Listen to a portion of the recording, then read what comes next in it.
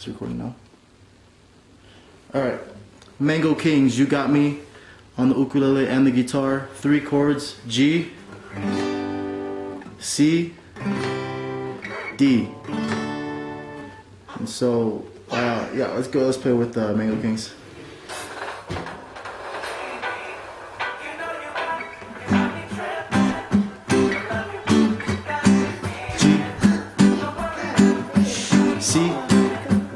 D, C, G, C, D, C. So that's the guitar. Let's try the uke.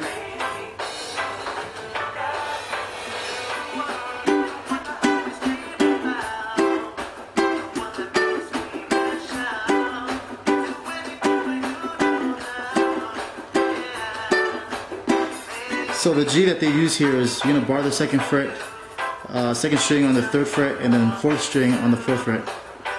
You could do this, but it sounds better this way.